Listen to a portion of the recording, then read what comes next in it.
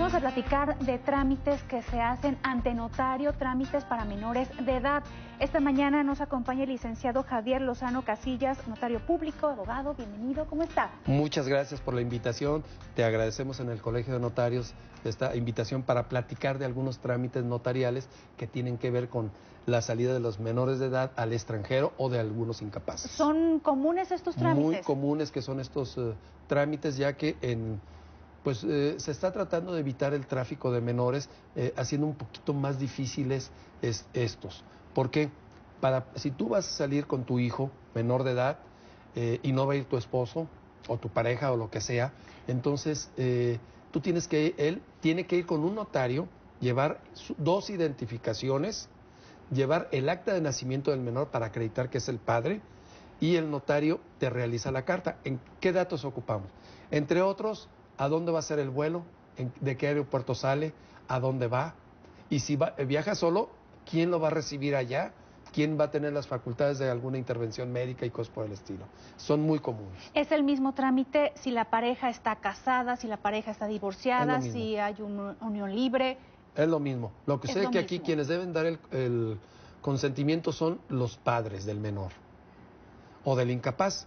Y en este caso eh, tenemos eh, hechos de divorciados. Entonces ya no están casados, ya están divorciados y a veces ni siquiera se dirigen la palabra. Pero la mamá o el papá los quieren llevar a Disney, se presenta el otro cónyuge que no va a viajar y otorga la autorización. Em, ¿Tiene que ir el menor de edad ante el notario? No, no, no.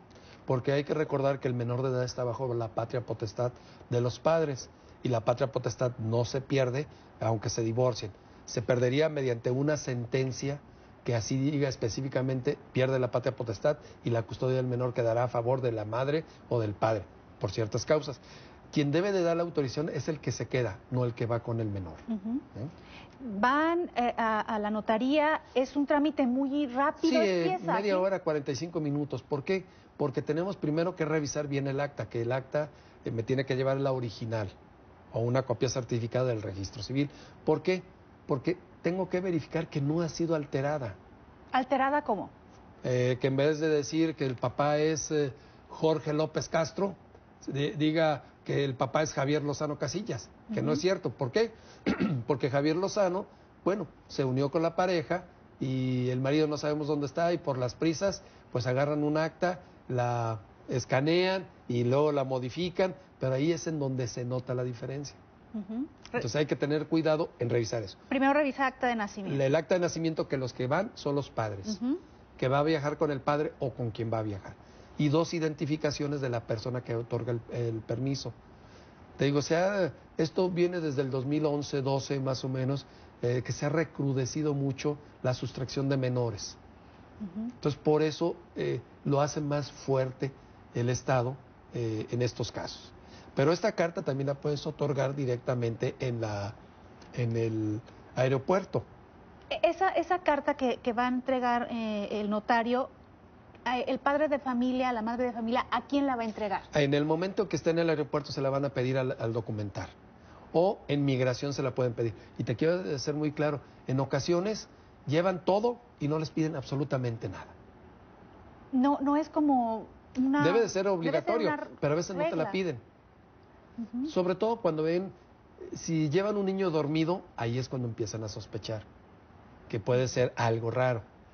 Eh, pero si el niño está ahí, mamá y esto, entonces ya se dan cuenta los mismos del aeropuerto, ya están, eh, tienen eh, algo de conocimientos de este aspecto. Que ahorita me platicaba de otro tema que seguramente más adelante vamos a platicar de la falsificación de, documentos. de documentos. En este sentido, ¿qué, garantías, qué sellos para que se acredite que sí es verdadera esa carta. La carta tiene ya una redacción que nos la mandó la misma Secretaría de Relaciones Exteriores, en donde nosotros decimos que comparece el señor Juanito Pérez Jolote, mexicano, mayor de edad, casado eh, con la señora fulana de tal y originario de San Cirindango de los Agujeros, con fecha de nacimiento tal, y el señor se dedica a esto y manifiesta que da de conformidad con el artículo tal del Código Civil Federal y eh, respecto a los artículos tal y tal de la ley de pasaportes, eh, creo que es el 15 si no mal recuerdo, y eh, los correlativos a lo de los estados. Otorga su consentimiento para que su menor hijo salga en el vuelo de la línea eh, El Pajarito Volador a las tales horas del aeropuerto de Guadalajara, Miguel Hidalgo y Costilla, eh, para que viaje a la ciudad de eh, Orlando de tal a tal día, regresando por la misma aerolínea en el vuelo tal a tales horas, junto con su mamá o con su papá o con su abuela o con sus tíos, y bla, todos los datos de Y luego les ponemos quienes tendrán la autorización, en caso de ser necesario, autorizar alguna eh, cuestión médica o X. Luego, después de toda esa redacción de la carta, yo hago una certificación. Me firma la carta, ahí hago una certificación. Debe de llevar un número. Si no lleva el número, es nula. Y en la certificación dice, ante mí, licenciado Javier Lozano Casillas, notario público 106 de esta municipalidad, compareció el señor, la señora, eh, en su carácter de padres de los menores fulano y fulano, a dar la autorización para que salgan del país. Quienes se identifican con su credencial de lector, número tal, y su pasaporte número tal o otra identificación. Y me vuelven a firmar y vuelvo a poner las generales. Y al final ponen también sus huellas digitales. ¿Hay unos sellos especiales que se les Sí, lo que sé que después de que hacen todo eso, pongo mi, el sello de autorizar y un holograma. Un holograma que eh, es una medida de seguridad que tenemos. No puede haber fallas en ninguno de, de, esos datos. No. Hay que decirle a, la persona, revíselo dos, tres veces, tómese su tiempo, porque ya me imagino si está en el, aeropuerto, y una falla, ¿de quién va a ser culpa? Yo he tenido amigos que estando en el aeropuerto me hablan, oye, necesito la carta, sale en una hora, espérate, pues estoy yo acá en Guadalajara, de aquí a que llego al aeropuerto a hacerte la carta, a llevártela, ya salió el avión. O sea, no se prevén, o el día anterior, a mí me ha tocado ir a las 12 de la noche a la notaría con amigos a hacerles la carta, porque salen al día siguiente en la madrugada. No prevé mucha gente en las, en las vacaciones. Ahora, esta carta tiene una validez nada más de 30 días si se hizo ante el notario y será de 90 días si dicha carta se realiza ante los consulados o ante las mismas dependencias.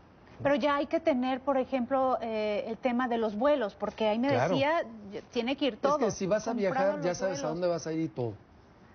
Yo, por ejemplo, me voy a ir de viaje en julio a festejar los 30 años primeros de, casa, de bodas con mi esposa. Y ya tengo mis vuelos, ya tengo dónde voy a llegar y todo. Si fuera una menor de edad que viajara conmigo, pues tengo todos los datos. Bueno, habrá, no sé, este, alguna madre de familia que vamos a, viajar compra los vuelos y después le pide permiso al, al, al, esposo, al marido, y, no se lo da el, no se lo Da, no pueden salir. No pueden salir. Eh, el tema de mm, eh, pasaportes, identificaciones para el trámite de alguna visa. ¿También se, se, tiene que certificar la palabra? para el pasaporte, perdón, si no va el marido eh, o la eh, esposa, entonces tendrán que dar la autorización para la expedición del pasaporte, no así de la visa. ¿Por qué? Porque en la visa ya están dando la autorización, al tener el pasaporte, están dando la autorización para que haga los demás trámites. Entonces en la visa ya no hay necesidad que vaya el padre, con que vaya uno de los dos es suficiente, cuando es menor de edad cuando se va a viajar en, familia y se está haciendo un trámite de visa, que eh, yo le comentaba, en algunos países se están pidiendo la certificación de los pasaportes, de las identificaciones oficiales como INE. Así es. ¿Tiene que ir toda la familia o la mamá, el papá puede llevar todos los documentos y En mi experiencia, nada más la mamá, te digo, eh, tuve el caso de una niña que está vive está viviendo ahorita en Viena, creo, y la mamá, que es mi amiga, eh, le pidió documentos porque está pidiendo una beca allá. Entonces me llevó todos los documentos, yo se los certifiqué y ella luego los apostilló, que esa es otra cuestión. ¿ah?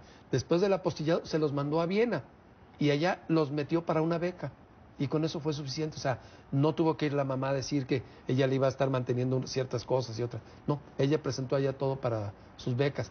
En el CONACIT también no necesita estar presente, lo pueden hacer los mismos familiares, toda esa tramitología. Ahora, ¿los costos eh, son elevados? No.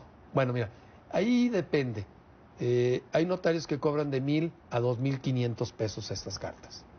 Máximo dos mil quinientos pesos yo creo que se cobra. ¿Cada quien puede cobrar? Sí. ¿No hay un como tabulador? Tenemos un arancel que nos dice un tope.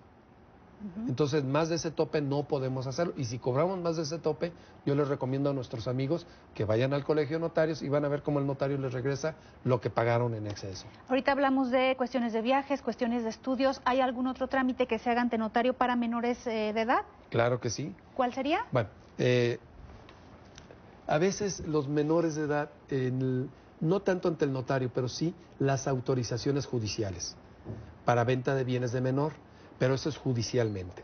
En donde yo, Javier Lozano, tengo una hija menor de edad, tiene, heredo una casa y necesito vender la casa para comprarle una mejor, porque la casa está en una zona muy fea y con lo que produzca esa casa le puedo comprar otra más chica en un mejor, mejor lugar. Entonces yo certifico los documentos como notario, los llevo al juzgado y le pido la autorización al señor juez para poder vender el inmueble para invertir en otro inmueble para la menor de edad. Que ese, me imagino, un trámite que es más largo, ¿se lleva cuánto tiempo esos trámites? Mira, depende, porque hay juzgados ahorita que hasta dos años, tres años en una sucesión, y hay otros, como el segundo del maestro Dionisio, que te tardan máximo seis meses.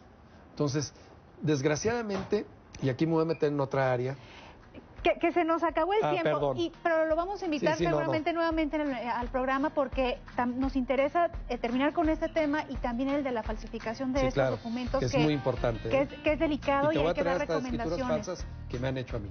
¿Nos deja un teléfono para nuestro Que sí, con mucho gusto. ¿Cuál es? Eh, sería, les voy a darle mi oficina que es el 3616-0279. ¿Otra vez, por favor?